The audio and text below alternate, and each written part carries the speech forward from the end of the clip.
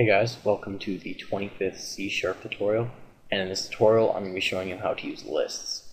Now, lists are very similar to arrays, only they have a few minor differences.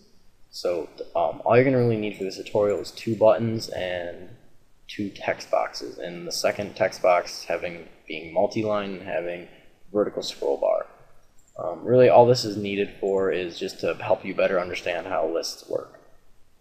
Alright, so let's get started. We're just going to double click on this add button right here.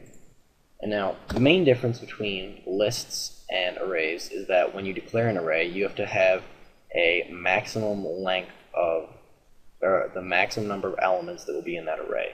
And if you, if you only use, if you like let's say we have a string array and my array new string. Alright, now inside here we have to put the maximum number of elements that will be in our array.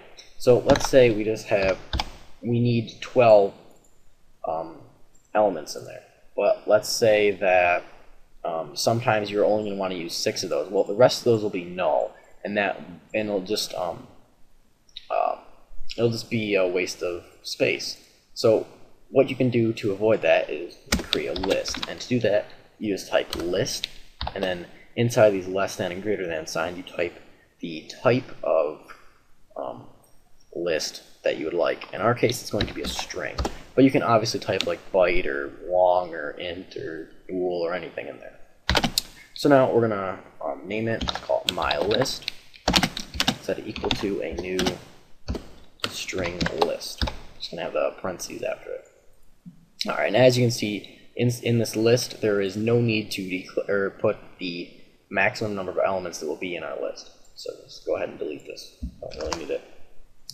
Alright, so now when we click button 1, what, are we what we are going to do is we are going to add the text in text box 1 um, to my list, and my list is uh, pretty much an array. So um, it'll just create a new element um, for this text. So to do that, all we're going to do is we're going to type my list dot add, and then we're going to type the um, string item, which is text box 1 dot text. Alright, so once again, this will just simply add textbox1's text to this list. Alright, so now when we click this button, we're going to have it print out all the elements in the array in this text box right here. So double click on the show all button, and the first thing we're going to have it do is clear the text box. So we're going to set that equal to string.empty.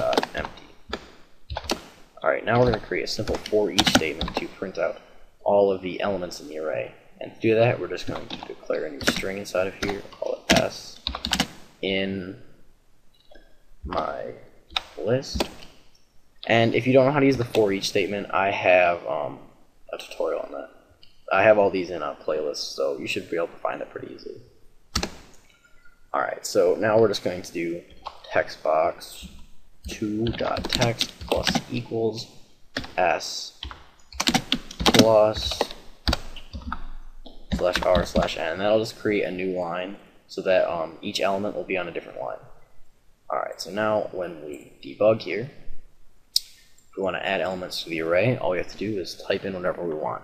So let's say, we'll just do animals. We'll do cat, add it, dog, fish, add it. Alright, so now when we click the show all button, it should do cat, dog, fish. I think that's the order did it. I don't really remember. Yeah, cat, dog, fish. Alright, so then if we wanted to add more, all we do is type in another one, like know, bear. Add that, show all, print out bear. Alright, so now one more thing in order to help you better understand this is uh, I'm just going to have it, we're going to do a little break thing right here. And what this allows you to do is allows you to go step by step, line through line, um, the code, so you can understand how it works better. So, I don't know, let's do dog, edit, cat, edit, fish, add it. So now when we click show all, this will just empty the um, text box 2 of its text, but more importantly what we're going to look at is that um, list. So we just click on this, go to my list.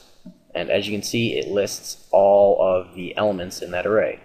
And as you can see, there is no extra elements that are null. So this is very good if you're trying to um, code cleanly, which I highly suggest you do.